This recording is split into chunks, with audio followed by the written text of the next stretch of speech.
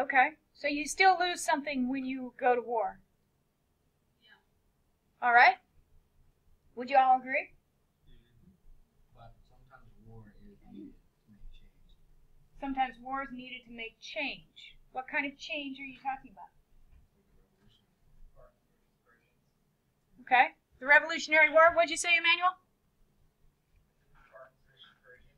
Ah. It may have the consequences, but that doesn't mean it's a good war, does it? Ah. Okay. Consequences, but maybe not a good war. Savannah. would be I- kind of an ideology that went into the, the delay of entering World War II. Speak up so they can hear you.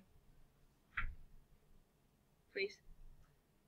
I think it, this is the kind of ideology they would have been thinking when they were trying to avoid to go going to World War II while Germany, when Germany was taking over the, the several nations, and they still didn't do anything because they wanted to keep the peace. Ah, because they wanted to keep the peace. Um, during World War II. Did you all hear those answers? Okay. Kind of, yeah. Okay, so there is um, this is this is really when you get into the philosophy of war, when you get into the philosophy of um, of politics, when you get into ethics, you know, all these things are called into question about good war, bad peace, bad war, good war.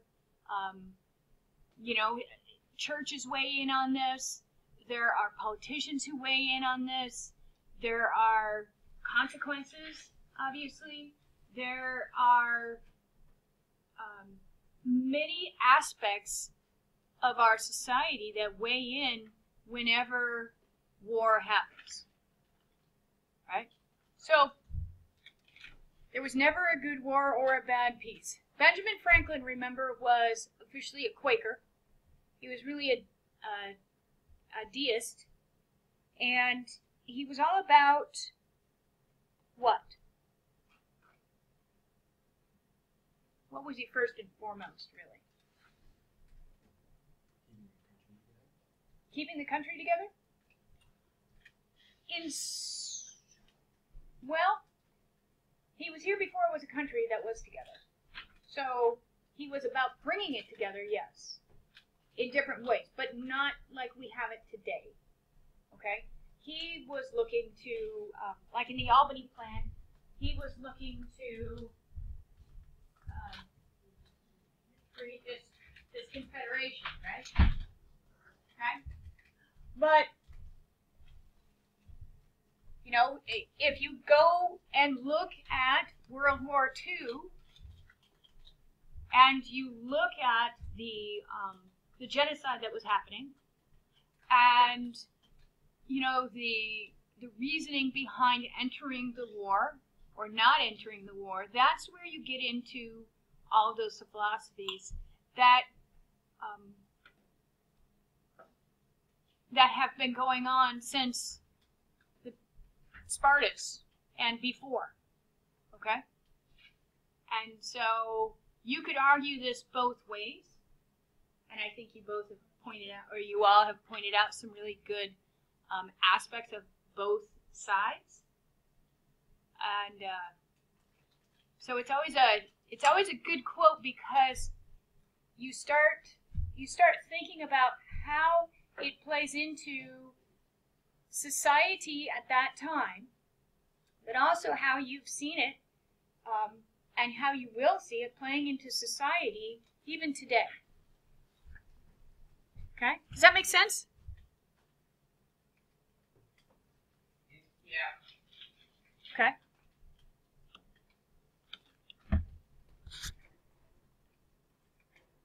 All right. So, she go? We stopped here on 16. The revolution and social change. Okay, egalitarianism among uh, among white males.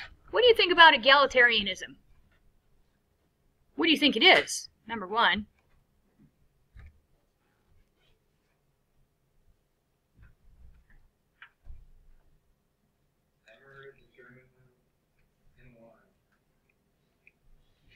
Okay. Anybody want to take a stab at it? it kind of there was a change in how classes and how people were viewed as far as classes and authority. So, uh, class structure and becoming equals?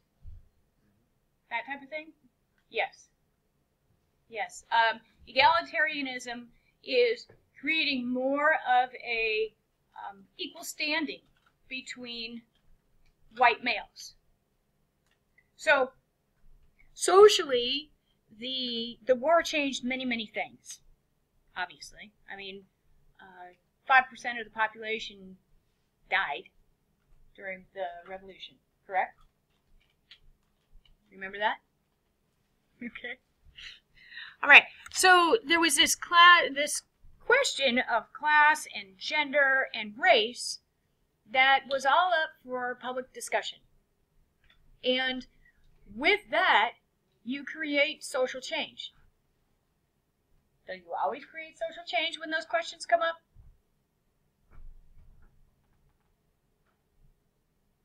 No. No, it doesn't always create social change when those things come up. Okay? Um, why do they only address the white males?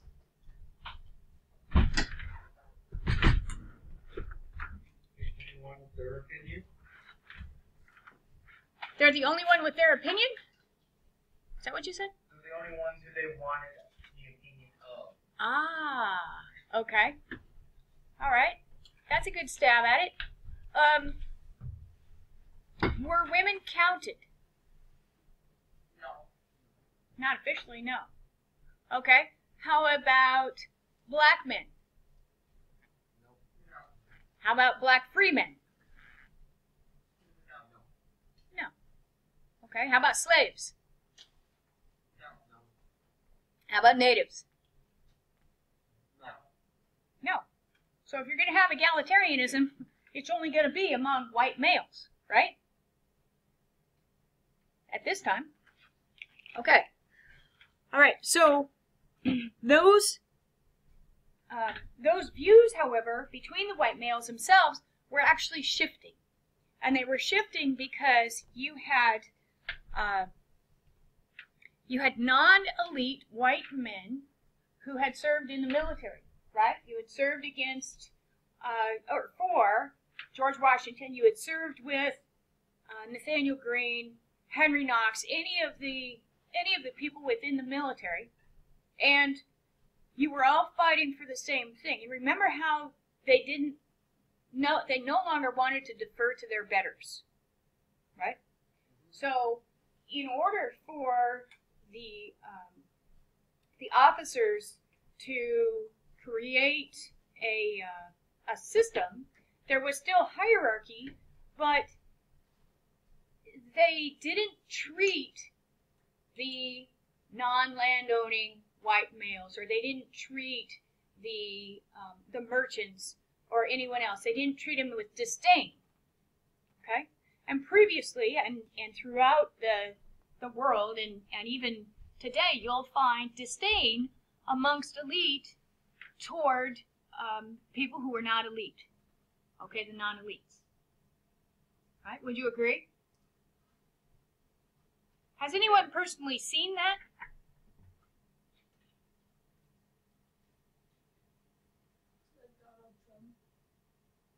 In what way?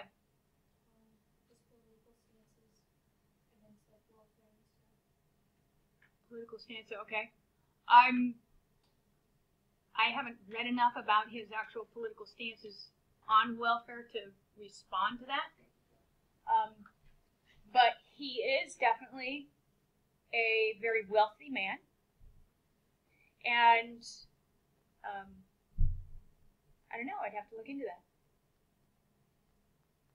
But the elite, like the aristocracy, the nobility, the um, landowning elite, the wealthy in the cities of the colonies, were generally the ones who were in charge. They were generally the ones who um, had the political clout, they had the political positions, and one reason is because if you didn't have money, you couldn't serve because you didn't get paid. Right? I mean, you had to pay your own way to serve um, to wherever wherever you were going. If you had to go to Boston or whatever, you had to uh, support yourself. Okay. Um, you might have gotten something from your from your town or your community, but it wasn't anything that uh, that somebody who was a farmer um, and actually had the farm and didn't have slaves or didn't have servants to farm for him. Uh, it wasn't something that they could do. Okay, and so um, your non-elite men were used to this during the revolution. They became used to this, and they weren't going to change. And women had wanted more say so. Who, which prominent woman um, requested that uh, the women were remembered by the framers of the Constitution? Wasn't it Ben Franklin's wife? No, but that's a good guess.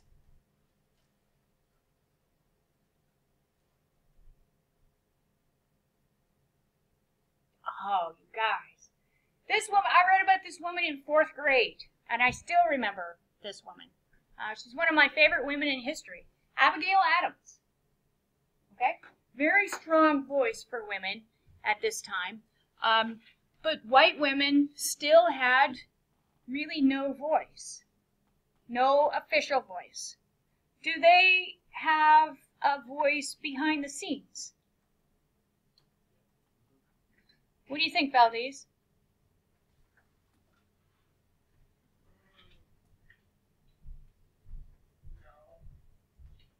Okay, why not? Depends on who they talk to. Ah, depends on who they talk to. Okay. All right. Um, women, depending on where they were and who they were and who they were with, they might have a voice. Okay? They might have a little bit of influence. Did they have a ton of influence? Depended on who their husband was, really. Okay? And if their husband was listening to them. Abigail Adams, uh, John Adams did not include women, did he? in his writings. Okay? Even though she was a very strong woman. So there was some influence, a lot of the influence you'll see, you'll see that influence as we continue on in this in the historical timeline where women uh, continue to gain some influence. Um, it's very it's it's very interesting to to watch the progression of women, of natives, of um, free blacks, of of blacks, slave blacks, um, over time.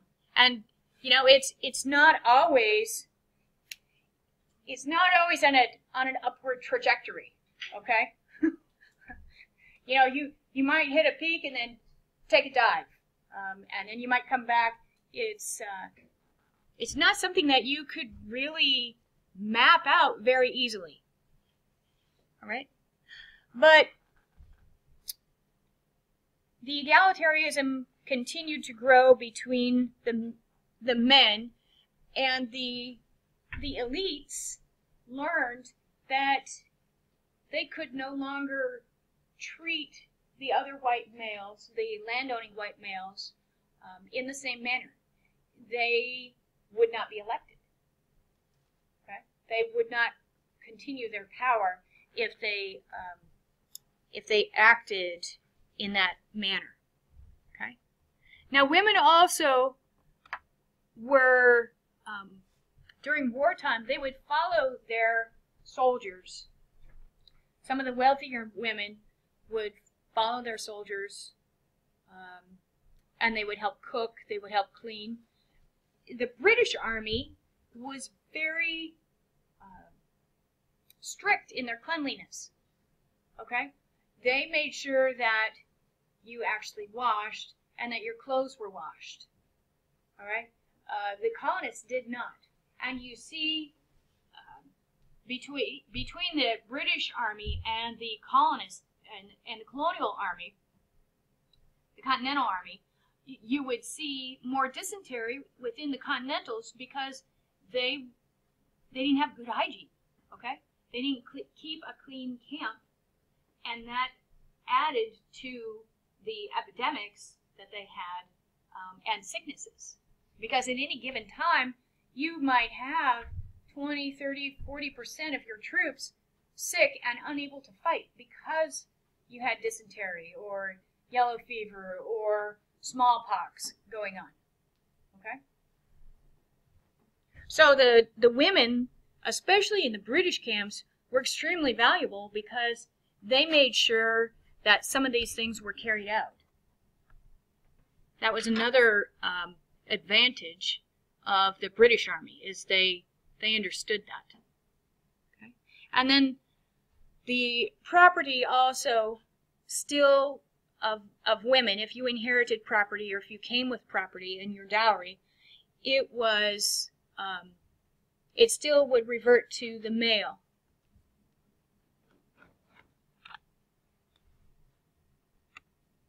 All right, so a revolution for black Americans. Right, in 1776, 20% of the U.S. population was black. Okay, 25,000 people were not slaves. Right, and then, but blacks were welcome or were they not welcome in the Continental Army? I think officially they weren't, but it's, they still got in anyway. Dunsmore? Dunsmore and the British? Yes, go ahead, Emmanuel. I was gonna say it depends on what officer was nearby at the time. Um, somewhat, but what they did is they uh, they changed their minds. Okay, Washington did not want the blacks in the army, and then he agreed to have blacks. Uh, they didn't want to arm the blacks in South Carolina, and then they decided that they they might arm the blacks in South the, the slaves. Okay, uh, to help fight. So. Um, yeah, it didn't last very long. Washington banned the blacks in 1775, but six weeks later, he determined that free blacks could join the Continental Army. And by joining the Continental Army, they created mainly their own regiments. So they would create uh, black regiments. There was a Rhode Island regiment. Most blacks, however, were relegated to camp duties. And proportionally, many of them, more of them got sick uh, than the whites because they were they they never got out of the camp and and uh, not keeping a clean camp means that the disease and the illness spread quite rapidly. And so um, the abolition movement really was begun does it? Okay. Define for me the abolition movement. What is that?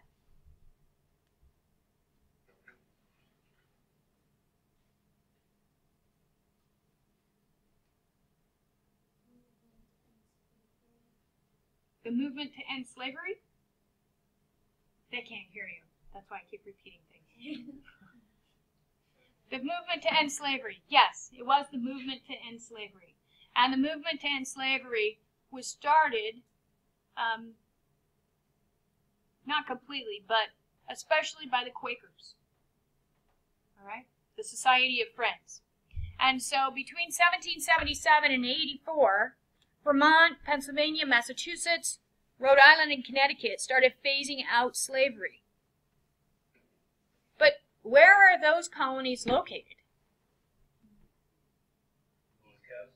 In the north. Yes, the East Coast we call it now, but definitely in the north of the colonies. Right? And so it didn't ban slavery, but it um, allowed for the, eman- uh, the eventual emancipation of slaves. An emancipation of slaves means what? Freedom. Freedom manumission, which means you grant uh, freedom to a slave.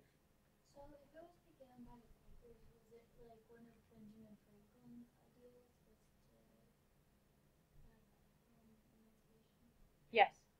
Benjamin Franklin was an abolitionist.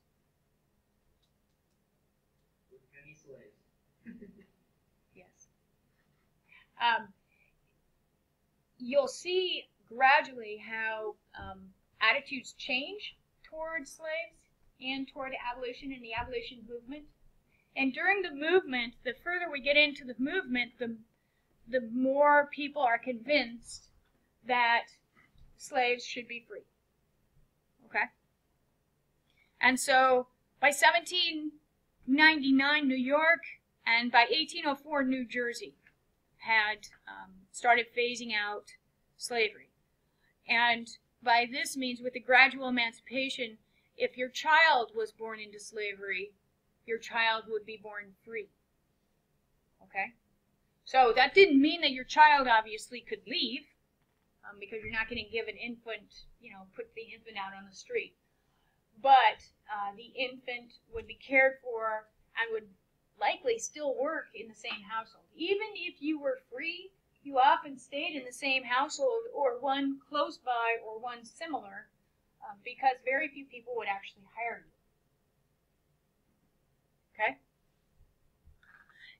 you. Okay? so, as uh, as free persons, many of the slaves who who were, or I should say, many of the former slaves were pretty much destitute. They were considered the second class citizens and ended up really being laborers, servants, and, uh, and tenant farmers. Okay? Not unlike what they were doing in some cases prior to that, during slavery. However, they were free. And Prince Hall created a movement to um, to allow slaves and former slaves to move back to Africa. His movement didn't go very far because uh, it was expensive and because uh, many people who had been born here just weren't interested in going to Africa. Prince Hall. Okay? And um, it was mainly in the northern states, but the black curfews were starting to be repealed and they started having equal court hearings, which is something that's significant. Okay, equal court hearings. Never before have slaves had an equal court hearing where you had a, ju- a jury by trial. Okay? And when we get to the Civil War, you'll see more of that. And then during and after, during Reconstruction, after Reconstruction, really, you'll see that being eliminated again. All right? So when I say that this trajectory um, changes, you'll see a dramatic change, especially for slaves after Reconstruction, during and after Reconstruction. Okay, so the next slide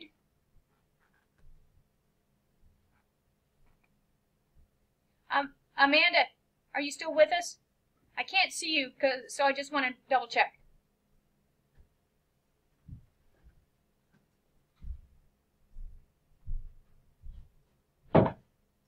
Are you talking to me? Nope, but I'm glad you responded too. Amanda, are you still with us?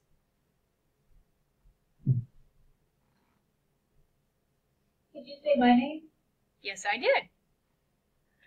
Okay, um, I'm still here. Okay. All right, great. All right, so Native Americans and the Revolution. How did the Native Americans fare during the Revolution? Not very well. Emmanuel? Pretty poorly. Pretty poorly. They became conflicted among themselves about whether which sides they should support.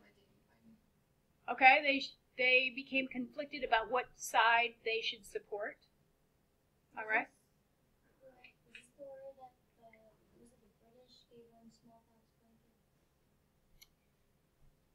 There were quite a few wars and treaties where smallpox smallpox blankets were distributed um, by the British and by the Continentals. Yes. And that was the, the Continental Army under Sterling. Yes. Okay.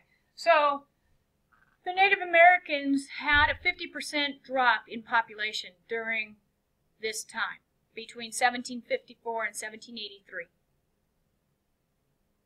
All right? Um, now think about it. Let's go back and think about there were millions of people here, and then not so many. And it dropped 30, 40, 50, 90%. Population comes up a little bit, drops back down another 30, 40%. Comes up, drops down another 30, 40. Comes up, drops down again. Okay? So during this time period, it drops another 50%. So, how many people do we really have? How many natives do we really have? Ah, do we really know? Very great, good question. And no, we don't have exact numbers. We can guess. Um, and the, and the population drops are also an, uh, a guess.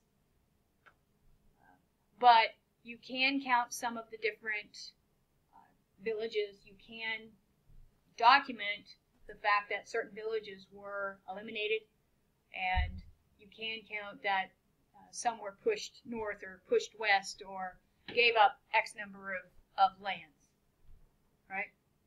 So um, there are some figures out there, but to drop another 50% during this particular war, so we have hundreds of thousands left, not millions. Okay? And so uh, most of them were east of the had been east of the Mississippi River, but because of the dramatic population drop, you get an opportunity for what? Expansion. Expansion. And what else? Land grabbing. Okay. Expansion. Um, and with that expansion came more tension between the natives and the colonists, correct?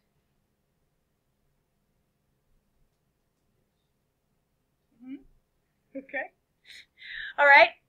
So, um, even as the population is dropping, and even as they are losing land or um, signing treaties and signing land over, they still are holding on to cultures and they're still holding on to traditions.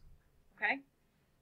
Um, some of them combined those cultures with the current cultures. Some of them, um, some of them did not. All right, kind of depended on who they were and where they were. Right, but what they wanted from Congress is the Chickasaws of the Mississippi Valley went to Congress and requested that they um, they didn't request they insisted that they continue to um, control their own homeland and keep their way of life. All right, and this isn't the last time that you'll see a native tribe go to Congress or go to the courts system and try to go through um, different channels in order to retain their property and their way of life. Okay? So, what they were doing is they were, in this request, the Chickasaws were requesting that they, um, that the con- uh, colonials would stop encroaching on their lands. Okay, any questions? Nope. Okay, moving on. From colonies to states, you've got Republicans and Democrats. Republicans and Democrats mean something today. And what did they mean then? Was it the same thing that we know of today? They, yes, they are different in some cases, and you'll see you'll see later when we start getting to political parties that yes, it's it has been switched, um, but these aren't political parties. at the time. All right, because the framers of the Constitution didn't believe in political parties. All right, they didn't want political parties. They didn't believe that that should separate um, any of the citizens and the government. Okay, but the Republicans based their information and their beliefs on another system. Anybody want to take a stab at which system they based it on? We've talked about it before. What? British. No, not Republicans.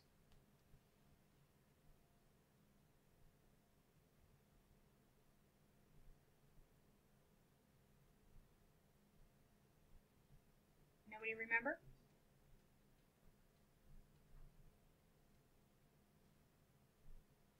This was one of the um, most successful and largest empires in the world? Rome. Yes. They based it on the Roman Republic, where you had senators who worked for the good of all, right? So, Republicans were um, trying to work for the good of all. Democrats, they were afraid of democracy because the elites associated democracy with what they called mobocracy and mobocracy, right? All right, so if you grant too much power to the people in a democratic society, you get a mob and you get a society that doesn't defer to their betters and also um, that may be held hostage by not so altruistic Republicans or not so altruistic uh, politicians or governmental officials. Right? Because if you are non landowning, you can be your vote may be swayed more than if you are a landowner. What do you think of that? Amanda, what's your opinion on that?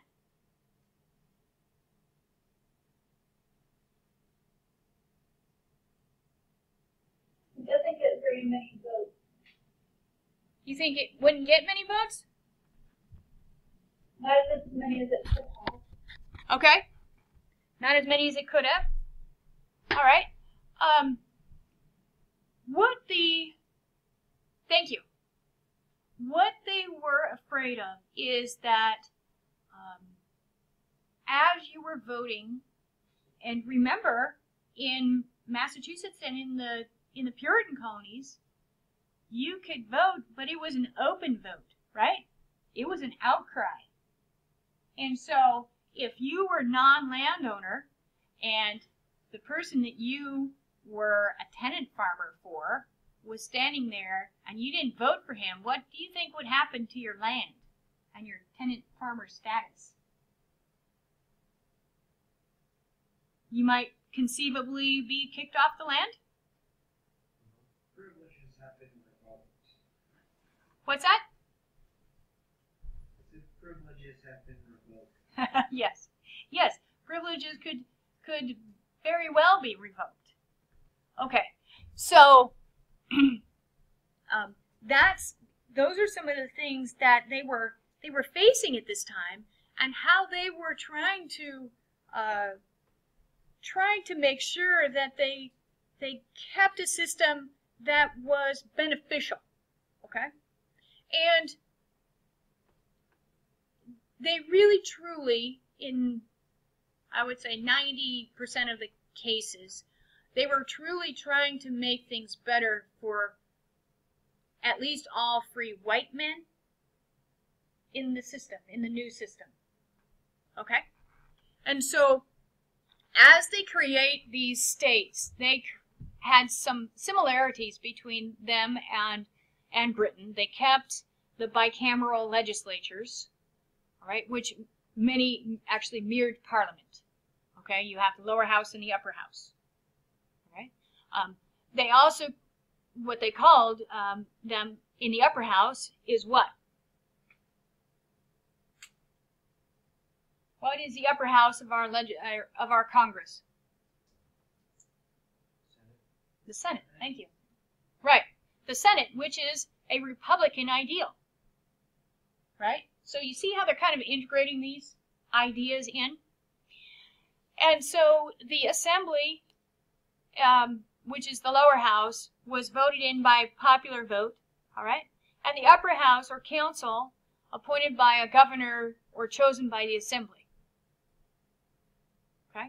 So there was a separate representation by the upper house and the common people. So even though um, the politicians couldn't put on airs, they still were instituting a a system that that did keep some keep people separate, right? All right. So um, Another similarity to Britain is that there was property ownership to vote. Nine out of 13 states reduced the amount of uh, property that they needed in order to be elected, but none of them abolished that requirement. And remember, uh, when Massachusetts started as a colony, it was oh, you could vote if you were part of the church, but after their charters were revoked, well, I don't know, how many times did their charters get revoked? A Couple? Yeah? Okay. well, at least two.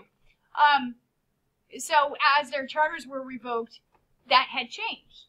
Remember? To a land owning voter population. And so when they when they set that up, they had a, um, another similarity to the to the British system is that you had a vote for every town. Okay, so think about all these towns. Think about Alaska today. If every town had a vote in the legislature, would that change the face of our legislature? I'm getting some nods. Okay. If that changed, um, let's pick on New Jersey. If New Jersey, if every town in New Jersey had a vote, would that change uh, how things were done in New Jersey, how business was accomplished?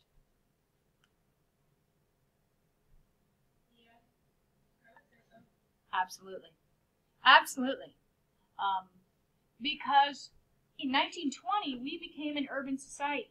At this time, we were a rural society. So if you had a rural, um, a rural vote, and you had the majority of it was a rural vote, the urban vote didn't count. So think of Boston with one vote, and think of Sudbury with one vote. Okay? See the difference? Now, is that different today? Uh, yes, it is. Yes, it is. Because it's more based on the population. So Boston probably has 20, and Sudbury has 1. Right? Okay. So, um, uh, Pennsylvania was the only one at this time to base their um, their voting registration logs by population. Okay, so uh, you can you can see how vastly different uh, the Republic of the United States would be today if that system was still in place. So state constitutions was another was a difference from the British system because state constitutions were written and every state constitution had a Bill of Rights. That was written. Okay? A written Bill of Rights. And with the document that was written, it limited powers, right? It limited powers, it defined powers, it defined citizens and citizenship and their uh, liberties. Okay? It outlined at least some of the liberties. Okay? And most of the state constitutions dramatically um, reduced the governor's abilities and his responsibilities and his duties and his authority. Okay? Pennsylvania eliminated the governor position al- altogether. So, where was the power? In these early states, where was the power?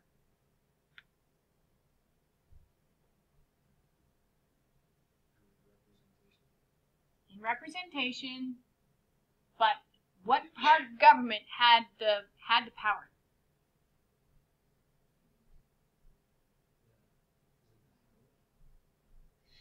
Very good. It's the House, the assemblies, in the legislature. The le- legislature had all the power, pretty much. Okay?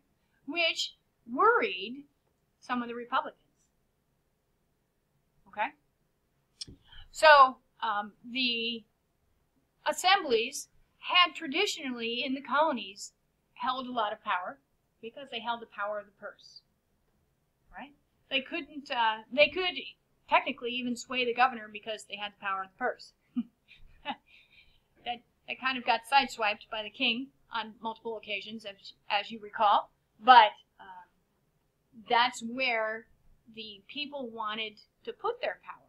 They didn't want the power to lie in the governor because most of the governors that they had had had um, had either abused their power or they had used their power in a way that the colonists didn't feel uh, was befitting of the colonies. Okay?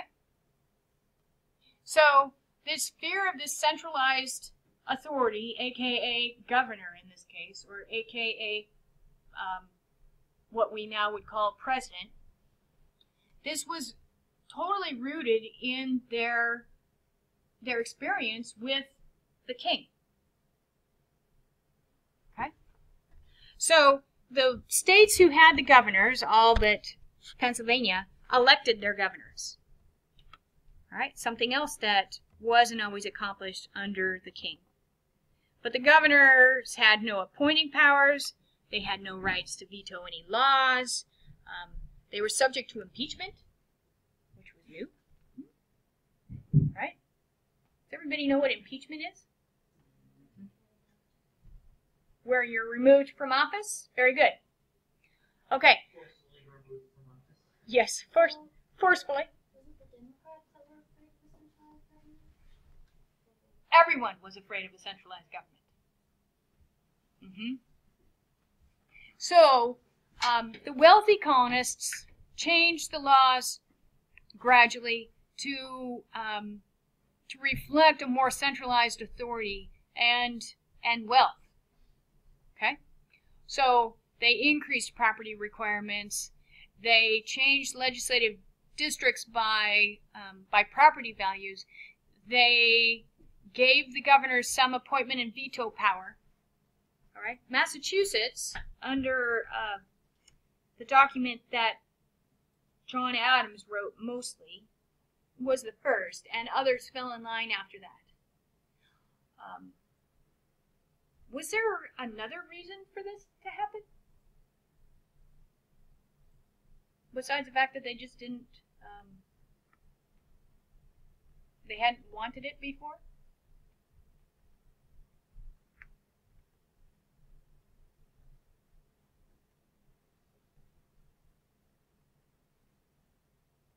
Any ideas?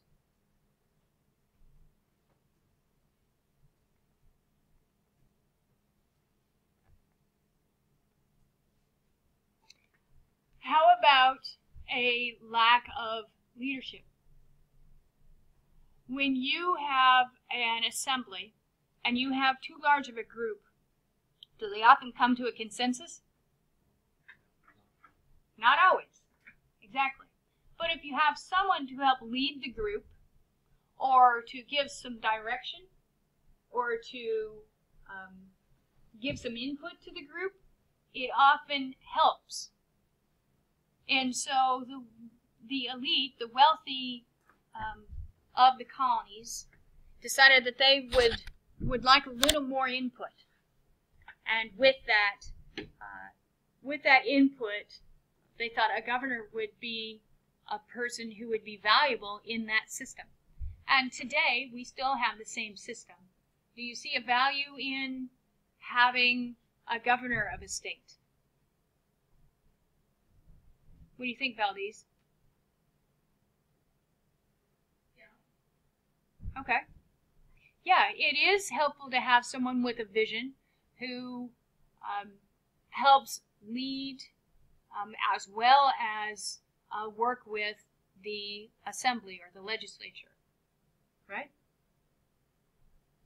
Okay, so this is one of the reasons that um, that things changed.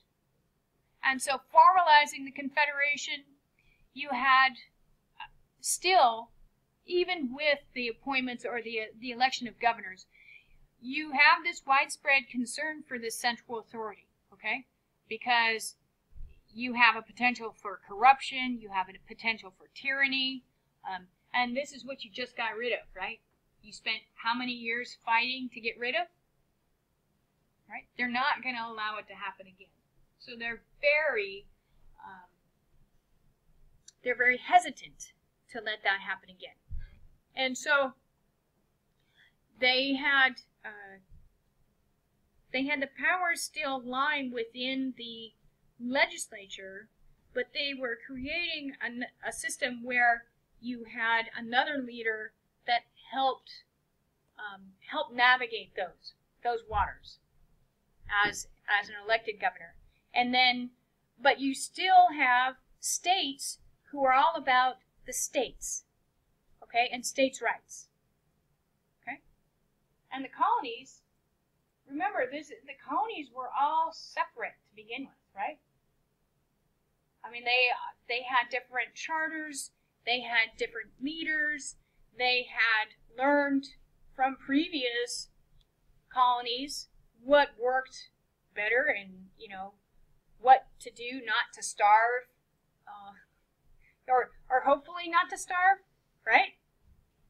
And so still as we're forming this confederation you still have all of it's all about states rights.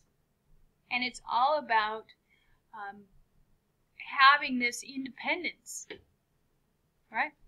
So john dickinson if you recall one of the uh, men who did not sign the Declaration of Independence, still worked within the system and he came up with the Articles of Confederation. Okay? And in the Articles of Confederation, it's not totally his work, it's based on his work. Okay? But it was sent to the states to ratify in 1777. Okay, are we still at war? Yes. Yes, we are still at war. All right. It took four years to ratify. From 1776 to 1781. Maryland was a holdout, okay? One of the big disputes was over representation. Voting and then western lands that were claimed by some states and claimed by the same claim same land was claimed by different states. Okay? So, um, ratification was delayed until Maryland signed it in March on March 1st of 1781.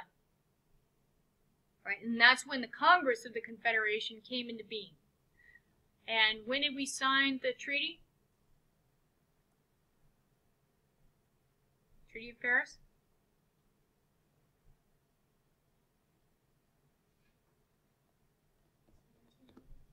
Yes! 1783. Thank you. I'm like, oh, you have to at least remember one date. 1783. All right. So, um, so it reserved states' rights. There was sovereignty, freedom, and independence within the Articles of Confederation. And all states had separate powers, which might create some issues, don't you think? If those separate powers were used and somebody else used the same power in the same circum under the same circumstances? Hmm. Yeah. So um, nationally, they had one chamber in Congress. It was elected by the state legislatures, and every state had one vote. Okay? And then Congress could request funds from the states. So they're requesting funds from the states to fund the, say, the Continental Army. Okay? Do they get the funds from the states? No.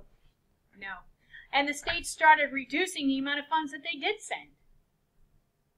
All right? So, a few problems you can see emerging from the uh, from the Articles of Confederation. There were no taxes unless everyone agreed. Not everybody agreed. There were no taxes levied by the, um, the by the Confederation. Okay.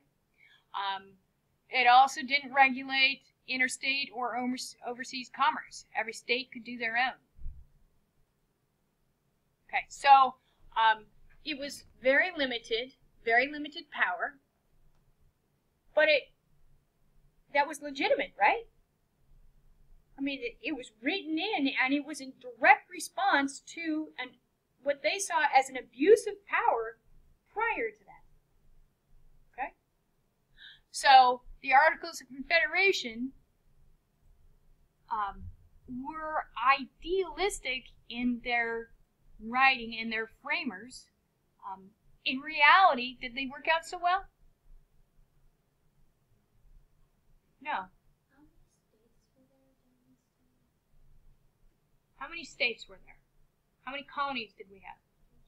Thirteen. Thirteen. hmm We haven't added any yet. Okay. So again, and also with the articles, there was no executive branch, no judicial branch. So you only had Congress. Um, all right. Questions? Did the state have a judicial or? Yes. Yes, they did. And so their governors originally had been able to appoint judges, but then their state legislatures were able to appoint judges. Okay? That was one of the powers that had been eliminated from most governors. Is appoint appointments.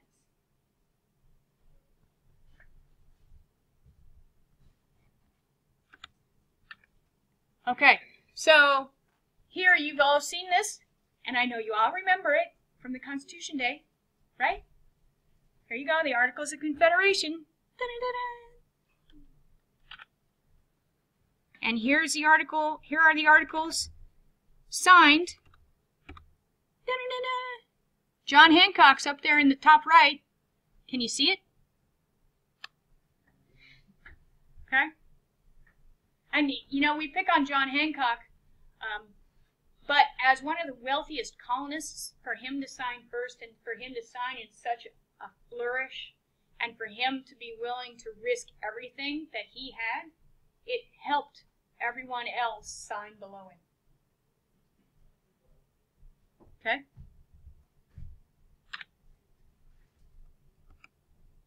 And of course, I'm referring mainly to the uh, Declaration of Independence. But him also signing the Articles of Confederation also made an impact. All right, so financing. Finance, trade, and the economy. How is the economy doing? Pretty bad. Pretty bad. You're starting to see another recession. Um, the Confederation couldn't raise any money. Uh, their financier said, hmm, maybe we should come up with something to help raise some money. And Morris and Alexander Hamilton, Alexander Hamilton is a is a hoot. I don't know if any of you have read anything about Alexander Hamilton, but he cracks me up. And if you go, here's a here's a nice little sidebar. If you go to the Constitution Center in Philadelphia, they have a uh, a statue. They have a, a room full of statues, and Alexander Hamilton is like my height because I have this picture of me with Alexander Hamilton. All right, um, but he was a he was a feisty one, and he and Morris came up with the Newburgh conspiracy. Okay, and with that, they were threatening, they convinced some officers to threaten a coup d'etat unless the National Treasury could raise some revenue. And the National Treasury was from the Confederate, from the Articles, or from the Confederation, okay? Washington found out about it. And he was able to give a speech that convinced his officers not to follow through. Okay? So, not only was Washington a, uh, a general, but he was he was definitely a diplomat. And uh, one of the interesting things that I have, one of the most interesting things that I've ever read about Washington is that he felt that um, his diplomatic skills had never been challenged more than had been challenged by his wife's children. He had to use more diplomacy with his children than he had to use in any state function. Okay? And this is after he becomes president. Okay? so, so Washington um, has written this letter, and and uh, he had asked, and he had um, asked his officers to uphold their honor, basically, and they did. And so uh, the uh, conspiracy fell through, but it really demonstrated this um, the the opportunity and the um, the great financial straits, the dire straits financially that the Confederation was in. Okay, when when you have when you have the director of finance come up with a conspiracy to try to get people to to pay up, that's a little extreme, don't you think?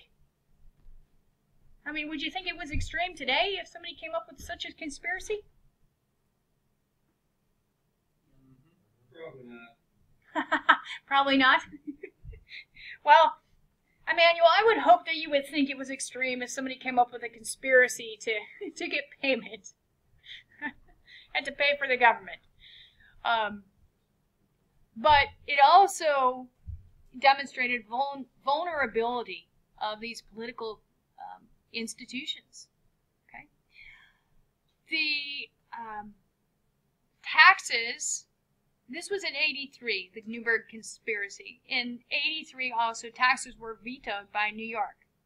All right? And this is when the state started um, not contributing as much to the National Confederation. Right? And the, the depression, or the recession led to a depression in, the, in New England.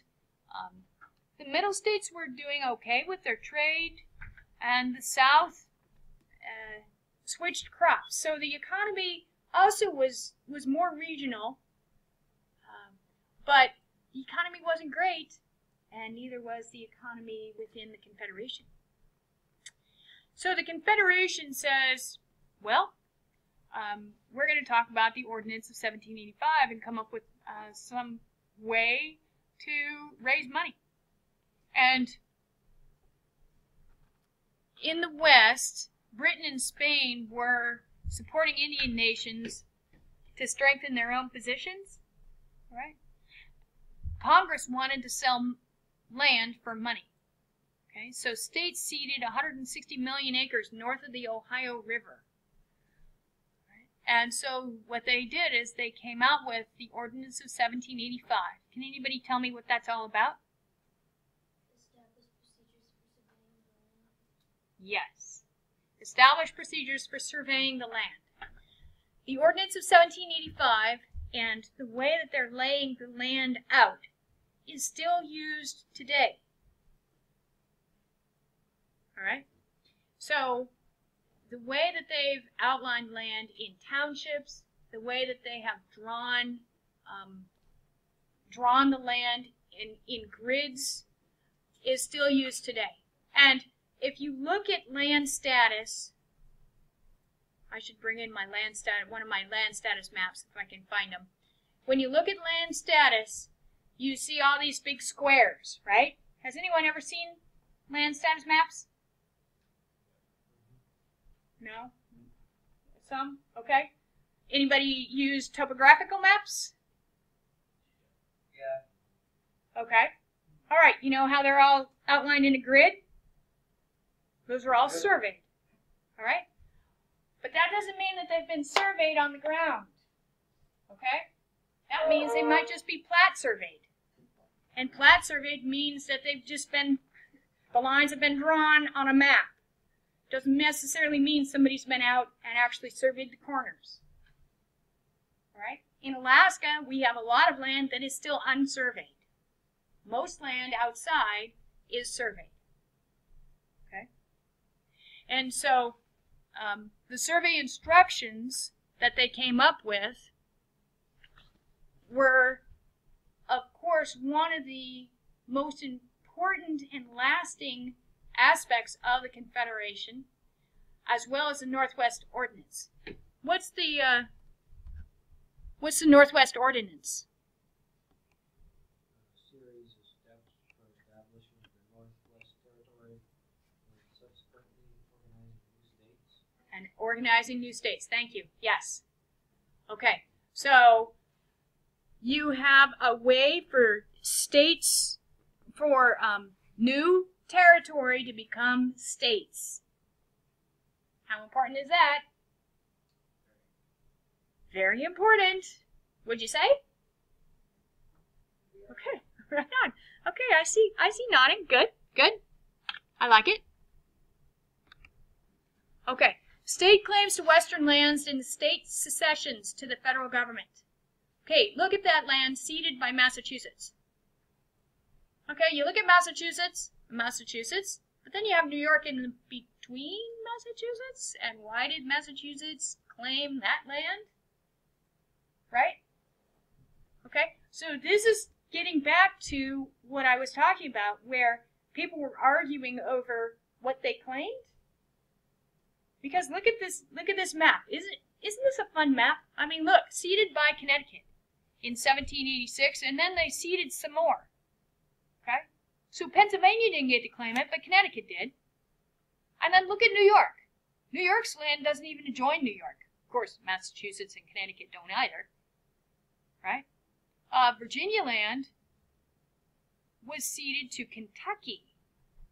And if you look at it, it's the state of Kentucky. And then uh, ceded by North Carolina in 1790. What's the state right under Kentucky now?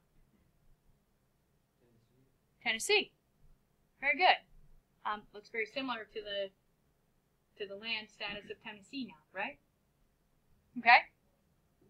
Ceded by Georgia, by South Carolina to Georgia. Look at that little patch there. South Carolina. So you see where uh, the colonies were taking advantage of the opportunity to expand their territory. So if if an individual state um, claims more territory, what do they gain by that?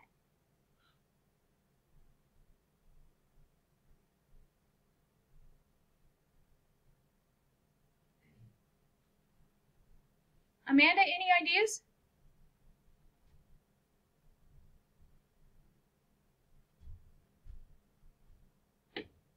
Sorry, I keep walking out of the screen. More people can live there, so you can tax more people. Okay, more people can live there so you can tax more people. More land ownership. More votes. Okay? All the above. All right? Land at this time means power, right? Pretty much. Land equals power. How about today? Land equal power? To a degree. Depends on. Celebrity. What's that? That if you're a celebrity. If you're a celebrity. Okay. Now it really depends on who has the land. I mean, Alaska is bigger than any other state, but we are by far not the most powerful in a lot of Well, that also Thing. has to do with like the resources inside of the land, like Uh huh. um, oil and gold and stuff. It depends on resources. Can you all hear? Yeah. Okay. Yes. Zoning and what you can do with the land. It also Okay. depends on how much land the state actually has, so the federal government is the state. What's it divvied up, how much of it? How much of it, which equals power, right? Basically, it's boiling down to power. How much land do you think in the state of Alaska is owned by the state of Alaska? There are 365.5 million acres in Alaska. How much of it do you think the state owns? What's that? I was gonna say we own about twenty percent. Okay. There's the, um, there's the federal lands and then there's like the native territory, like the, the continent. Yep. Which one? Native land, there's federal land, there's state land, and there's private land. Private land is less than 1% of the state. 44 million acres is owned um, by, or the actually, the native corporations have the ability to own 44 million acres. They do not have title to all 44 million acres. The state of Alaska has the ability to own 104 million acres. They currently do not hold title to all 104 million acres either. So the federal government has ended up and still has control of 65% of the state of Alaska in land. Okay?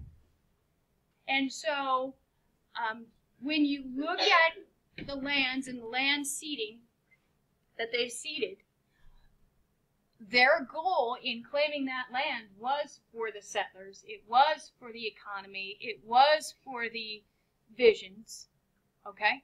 Um, it was for the power.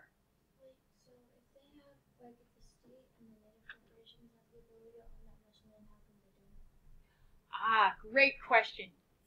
The reason for that is when Alaska became a state in 1959, and you'll also get the opportunity to, to finish this conversation next semester. When Alaska became a state in 1959, they were able to claim and to map out where they wanted land. Okay, you could choose the land. Um, with ANCSA, with the Alaska Native Claim Settlement Act, the natives were able to choose their land as well. Some of that land has overlapped, and so some of the land that the native corporations hold or would like to own is some of the land that the state also would like to own. Okay? And so it has to be determined, and it's done by BLM, the Bureau of Land Management, who will get final title to that.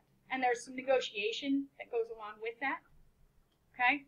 It depends on traditional use. There's a whole list of requirements that, that need to be met for that. So there's like ongoing, like, uh, regions of ownership are still changing that. They are changing still. Yes. Um, they tried to speed it up. Senator Murkowski had an acceleration act passed where all the land was supposed to be transferred by 2009. A good portion of it was, but it is not all done. Okay? So here you have the. Um, does that make sense? It's kind of confusing, but land status and land, again, we get back to the to the very beginning of the colonies, and land was one of the reasons for the colonies. Right? Okay, so land status is extremely important. Surveying this land was extremely important. Okay, so you have 36 sections in a township, and a township is listed here in the squares, and the squares are taken and um, done by by miles. So um, if you look at land status, it's very definitive um, until you get to the curvature of the earth. And if anybody has anybody been to McCarthy? Okay. Um, that's a really fun place to go if you're looking at land status because it's where the map kind of goes crashes together, and so the uh, perfect squares don't work in McCarthy. All right.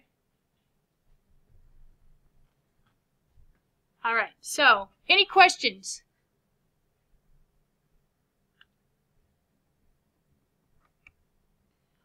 All right. So, treaties and land. All right. The available land was, of course, native land. And even though it had just been claimed by Connecticut, it was owned by natives, the majority was owned by natives, right? So the Treaty of Fort Stanwix and the Treaty of Fort McIntosh and the Treaty of Fort Finney were all signed. However, not all the natives held that they were valid treaties because negotiations were held not always with all of the um, all of the people uh, in agreement. And so in Stanwix, the Iroquois gave half of their land, ceded half their land. Uh, the McIntosh and the Delaware, okay, and um, the McIntosh was with the Delaware in natives, and the Treaty of Fort Finney was the Shawnee, where all of them gave up different land, but um, the British, who the Indians were hoping would still support them, they British actually refused to abandon seven of their northwest forts because they did hope to regain territory, and they hoped to regain lands in North America. Okay, and uh, Brant, one of the natives, one of the more um, famous natives, he worked on it, but uh, he couldn't unite the people, and he had to withdraw to the to the north again. Spain also was working on supplying ammo to the Creeks in Georgia so that they could fight against the colonists or the, the Confederation now. Okay? So, um, the Northwest Ordinance, does that make sense? Yeah? And the Northwest Ordinance gave uh, a way for states to become states. Gave a gave a delineation of how you could become a state. So you had a three-stage method for being admitted as a new state in the Union. Okay? You'd get a congressionally appointed governor. You'd have a secretary. You'd have judges. Um, you'd have an assembly and a non-voting delegate to Congress. Okay? But then with the second phase, as you came in, when your population reached 5,000, okay, and free male inhabitants, and a state constitution could be drafted and membership to the union would be requested in the third phase when the population reached 60,000. Okay? And um, this is one lasting um, one thing that lasted from the Confederation that dramatically changed the face of the, the Confederation and, and our nation is how they were admitting states and the fact that they did admit new states. Okay? So you saw the in the on the map where they ceded the land to Kentucky as a new state. Right? All right, so I think we're going to get cut off here at Shays Rebellion. Oh no, we have a couple more minutes. Okay? So Shays Rebellion. What about Shays Rebellion?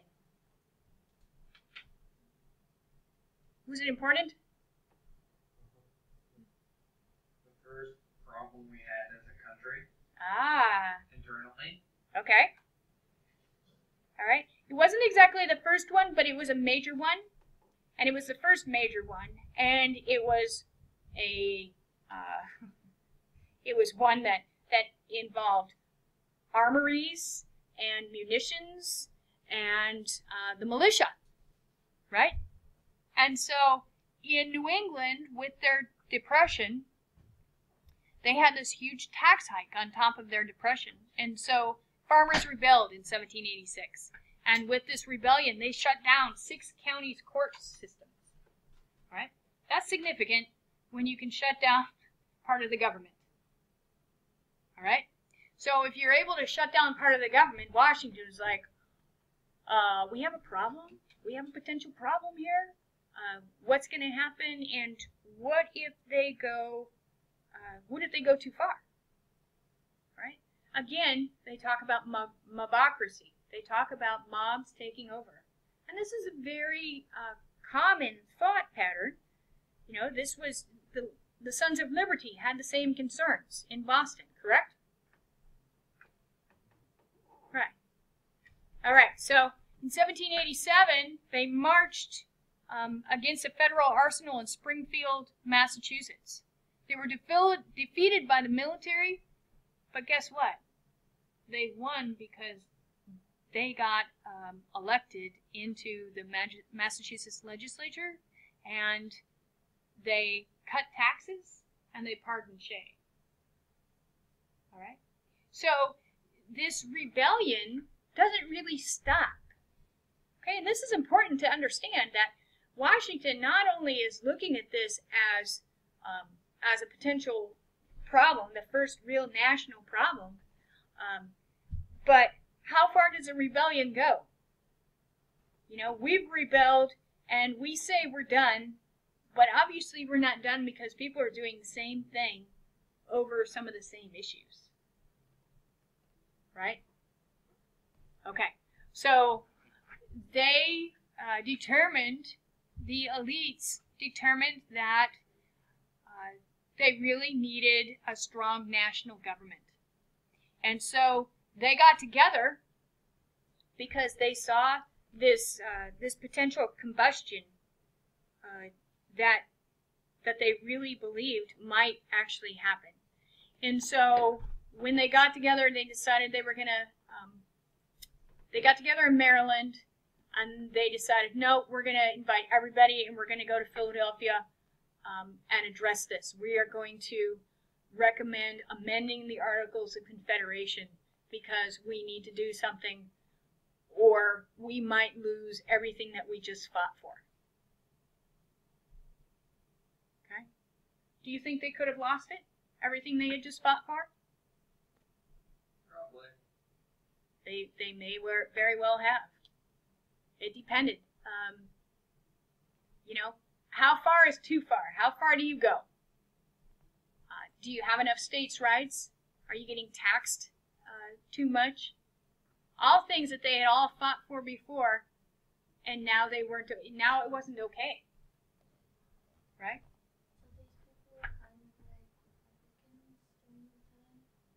The farmers? No, the farmers weren't um, weren't always Republicans because the Republicans they they might have been, but generally generally they were more Democrats. They believed that they should be equal to anyone else in the legislature.